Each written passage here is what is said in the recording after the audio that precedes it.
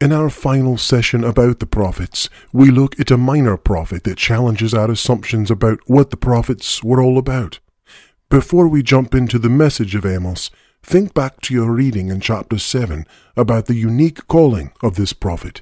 Amos was not a major religious figure.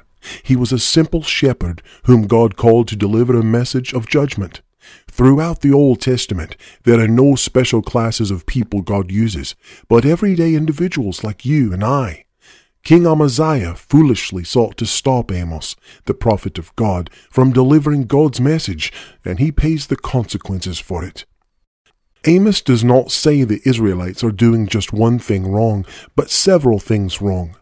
Through Amos, God rebukes the people for perverting justice, taking advantage of the poor, and growing rich by the unfair treatment of others. In chapter 5, the prophet Amos declares that the people's failure to live justly and ethically makes a mockery of their faith. The book of Amos says that worship, without proper treatment of others, is nothing more than clanging cymbals that God will not receive. So when the people fail to care for the poor and powerless, God doesn't accept their offerings. We learn in the book of Amos that God accepts worship from people who seek to be righteous in their lives and not just in their religion.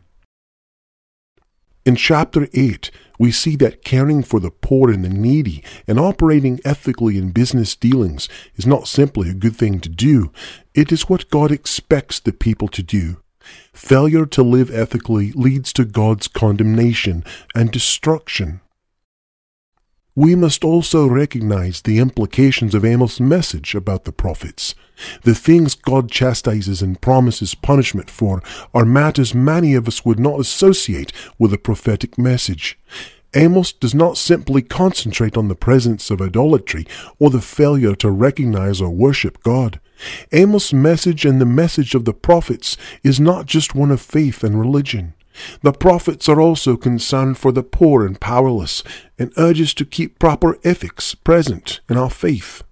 The New Testament book of James echoes this idea when it reminds us that faith without works is dead. Amos is calling the Israelites and us to be the people of God by our beliefs and our actions. This prophet of God reminds us that it's impossible to be the people of God and take advantage of others economically. It is impossible to be the people of God and not empower justice in the lives of others. It is impossible to be the people of God and not address the needs of the poor and needy. Take a moment now and explore how the book of Amos speaks to your life.